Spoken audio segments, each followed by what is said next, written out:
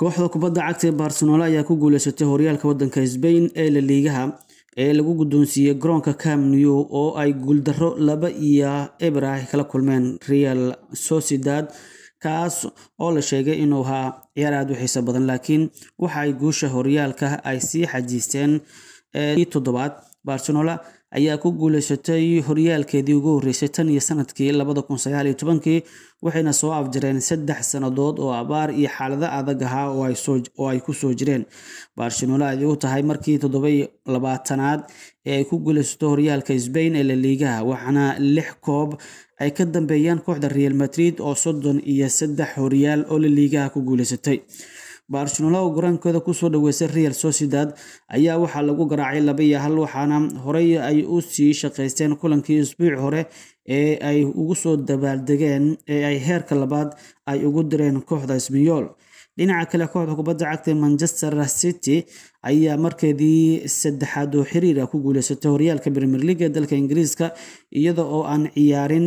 oo ay ciyaartooydeedu ay gudahooda joogeen. Kadib markii ay nottingham forest ay ka badisay kooxda arsenal mancity ayaa u baahneyd keliya in laga badiyo arsenal si ay ugu guuleysato horyaalka iyadoo weliba saddex kulan ay uga harsan yihiin xilli ciyaareedkan. Beb guardiola ay kooxdiisu labadii ciyaareedba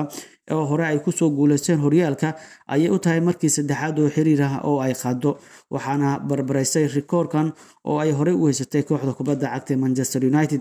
Manchester city ayaa sidoo kale u tahay markii shanaad ee ay horyaalka ay qaadaan lix sannadood oo uu tababaro u ahaa beb guardiola halka ay taariikhdooduna ay tahay markii sagaalaad ee ay qaadaan koobkan. Bishan horaanteedii ayay manchester city la wareegtay horyaalka premier leaga markii arsenal ay isku lumisay sagaal dhibcood afar ciyaarood oo saddex ay barbaro gashay midna laga badiyey waxaana hadda city ay diiradda saarayaan labada koob ee kale ee ay finaalka joogaan ee champions leaga oo ay inter milan ay la ciyaari doonaan iyo fa kaabka oo ay man united ay ku ballansan yihiin taariikhda ayay dhammaystiri doonaan manchester city haddii ay qaado labadan koob ee kale ee ay finaalka taagan tahay waxaana manchester united ay kula beeri doontaa liiska kooban ee kooxaha saddex koob oo ay ka mid yihiin premier league champion league iyo fa gaab ku wada guuleysta